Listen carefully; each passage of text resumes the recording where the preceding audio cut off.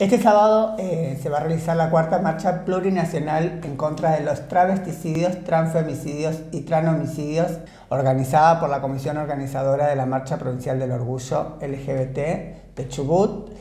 Eh, la convocatoria es a partir de las 4 de la tarde en la peatonal Gacín. La idea es visibilizar y reclamar sobre las problemáticas que tiene el colectivo trans. ¿Cuál es el tema principal que las moviliza hoy en día?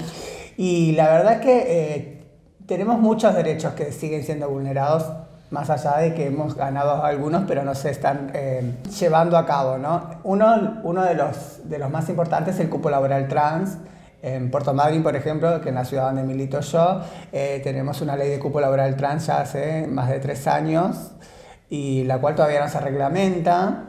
Y la verdad que para nosotros como colectivo trans es una urgencia el cupo laboral trans porque nuestra expectativa de vida al día de hoy sigue siendo de 35 a 40 años, lo cual te dice que tenemos una expectativa de vida baja. Entonces, el cupo laboral trans viene a cambiar esa, trataría de, cambiar esa expectativa de vida, ¿no? Porque tendríamos otra realidad, podríamos proyectarnos, gracias a ese, trabajo, a poder tener otro, otro estilo de vida.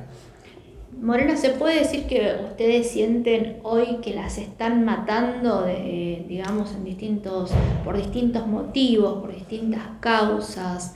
Una realidad muy cruel, ¿no? Sí, tal cual. El travesticidio, transfemicidio o el transhomicidio no solamente quiere decir que venga un, un, hombre en este caso y nos asesine y nos quite la vida, sino también es la desidia del Estado que el Estado no te garantice esos derechos que hemos ganado, ni tampoco te garantice políticas públicas para que nuestra realidad sea diferente. Entonces, al tener una desidia, obviamente, eso se convierte en un travesticidio social, que es también lo que queremos visibilizar al no poder tener acceso, por ejemplo, a, una salud integral, a un trabajo registral, a una vivienda digna. Entonces, nada, sí, nos, nos, nos siguen empujando a, a, una muerte segura y temprana. ¿Ustedes tienen estadísticas o algún número de personas que eh, mueran por día o por año? Hay 30 muertes, eh, 30, 30 travesticidios eh, en toda la Argentina en lo que va del año.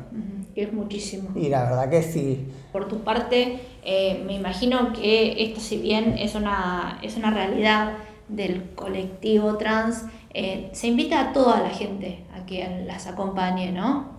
Sí, nosotras, lo que es Libres y Diverse, tenemos mm, todos los integrantes que pertenecen al colectivo LGBTIQ.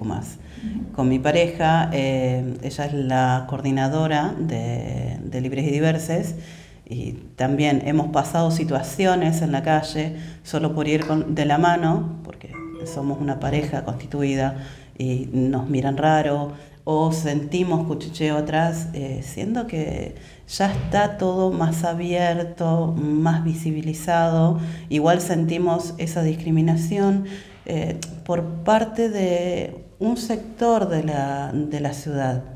El otro está muy abierto, nos apoya y a esas personas pedimos que nos acompañen en esta marcha que no solamente eh, por el colectivo, sino también para que nos apoyen y que estas cabezas que todavía nos siguen mirando mal o siguen mirando una relación de dos personas del mismo sexo está mal visto, que, que se abra, que en realidad no es nada malo y que no se sigan matando gente, porque en realidad es un ser humano, no es si es travesti, eh, es... Eh, personas. Son personas.